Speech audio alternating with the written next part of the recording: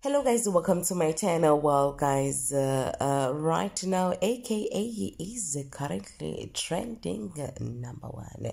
This is uh, after the video of uh, the crime scene was shared on Twitter and this video uh, it was reported that AKA was uh, shot and killed in Florida Road, Durban. guys, a lot of people are finding it hard to believe this news and it seems that AKA's manager has confirmed the news even though the statement has not been released. So guys, this is what uh, AKA's manager wrote on uh, his uh, WhatsApp status. We had so much planned uh, the album God Why Him. So guys, uh, I felt this is a confirmation from AKA's manager confirming that uh, what is being shared on social media that AKA is no more. He was shot in Durban, Florida. Is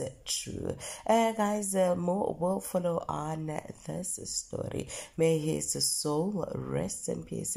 Thank you guys for watching this video. Please make sure that you do the right thing by commenting, sharing, subscribing, liking this video, and most importantly, hit the notification bell so that you do not miss out on anything that I am going to upload next on this channel. Bye.